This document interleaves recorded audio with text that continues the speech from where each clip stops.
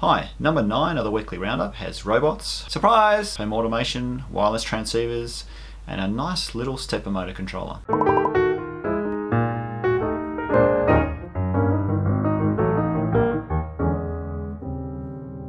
There's a bunch of nice STEM products on Kickstarter this week. The Plobot is a nice little robot designed to teach kids how to program. You program it by tapping instruction cards on the robot. The cards have a number of commands such as functions, motions, actions, modifiers, and sensors. Nice little Christmas present for the budding coder. There's also Root. No, not the root account on Unix. Root is another STEM education robot, but this one can move across a whiteboard. It'll do simple line following, or stick a pen in and it'll draw for you. All programmable from an iPad from basic graphics all the way to full Python, JavaScript, or Swift. Comes with tutorials for you to modify and hack around with. Nice. Continuing the theme of STEM education, the Airblock is a programmable drone with magnetically connected modules. This allows you to be creative in the way you structure your drone. You have basic control mechanisms, but it doesn't seem to allow you to do more complex coding like the root. If you're looking for CD quality sound recording and playback, then SoundDuino looks like a fairly decent Arduino hat. This is a third revision of this board and contains an SD card, stereo audio in and out, and a fairly easy API. The PSA1 is a tiny switch mode power supply. Heck, it's the smallest I've seen. I used to fix switch mode power supplies for dot matrix printers, and I can tell you, they were huge. This one supports an input voltage between 3 and 17 volts, delivering from 0.9 to 6 volts at 1 amp. This is not really a maker product, but more in the category of, oh, I want to hack this one to bits. The Bixi is a wireless gesture recognition device that connects to anything via Bluetooth can recognize only eight gestures currently and seems to be fixed in what the commands do. I don't see any mention of an API. If they don't create one, my money is on someone creating a hack for it pretty quickly. Only one interesting thing on Indiegogo, and that's the Itty Bitty City, yet another STEM education tool from Microduino. Comes with a variety of modules that connect magnetically and is LEGO compliant as well. They are color coded as core, function, communication, and extension for easy identification. OTA programming via Bluetooth is done with Scratch and Mixly, or you can also use the Arduino IDE via USB. There are a number of kits that can extend it to do all sorts of cool stuff. Nothing interesting on the Crowd Supply website, but a few on the Tindie side.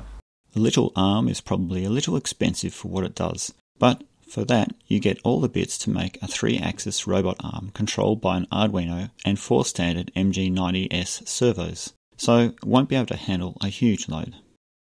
While we're on motor controllers, there's the MightyStep17 stepper driver, which claims to be a direct replacement part for the MakerBot. If you've had a hard time sourcing these drivers, your search is over. Now this is nice. The uStepper is also a little pricey, but is designed to be placed on the back of any NEMA 17 motor. It is a board containing an Atmega 328, 12-bit rotary encoder, regulator, temperature sensor, and stepper drivers. Runs off 8 to 24 volts, an all-in-one package that will simplify your cabling. I seem to be always running out of USB ports on some of my small projects. The Nano Hub is a breakup board containing a 4-port USB 2 hub. This one replaces the original 2-port hub I mentioned in one of my earlier roundups. The dAISy hat hasn't got anything to do with cows, but it is a two channel AIS receiver. What's AIS, you ask? AIS is Automatic Identification System and is used in aircraft and marine tracking applications. It can connect to OpenCPN to see objects tracked in real time. Looking for an ARM Cortex M3 hat for your Pi?